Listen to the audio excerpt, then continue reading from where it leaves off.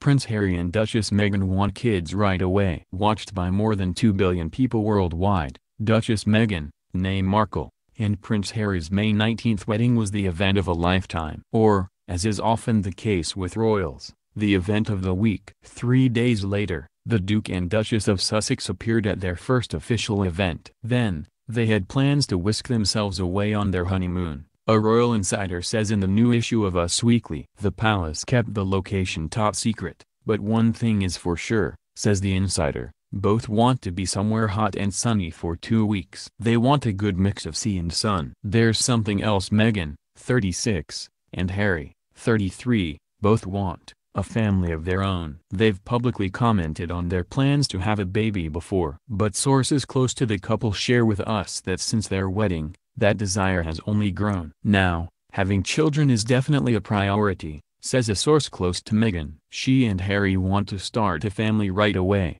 and she'll start trying as soon as she can. The royal insider seconds the duo's enthusiasm. They both can't wait to start a family, says the insider. But they also caution that timing is all important with royals. Harry and Meghan won't rush into anything, they have a lot on their plate right now. But they both think that when the moment feels right, that will be the time to go for it. They'll make fantastic parents. Whenever baby Sussex arrives, the wee one will certainly have a looks place to lay his or her royal head. Since the former Suits star moved to London, she and Harry have been sharing Nottingham Cottage, a k a Nott Cott. But their cozy love nest is merely a starter home. It's perfect for right now, but not for the future, especially when they start a family, shares the insider. I can't see them there beyond next summer. In the meantime, the duo have signed a two-year lease on a $5.4 million house within the Great Tew Estate in the Cotswolds, a 90-minute drive outside London. Renting in the Cotswolds was something they discussed before the engagement says the insider. They loved the idea of having a bolt hole to escape to when London gets too much. The home,